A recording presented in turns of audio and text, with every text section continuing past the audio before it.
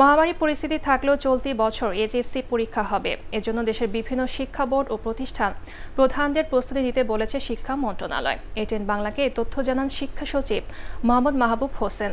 তিনি বলেন, পরীক্ষার পনেরো দিন আগে সংশ্লিষ্ট সবাইকে রুটিন জানিয়ে দেওয়া হবে। এ নিয়ে কোনো বিভ্রান্তি না ছড়াতেও অনুরোধ করেন সচিব। আমরা এখন সাত দিন নোটিশেও পরীক্ষা নিতে পারি, কিন্তু আমরা পনেরো দিন এর জন্য বলছি যেহেতু ছাত্রদের একটু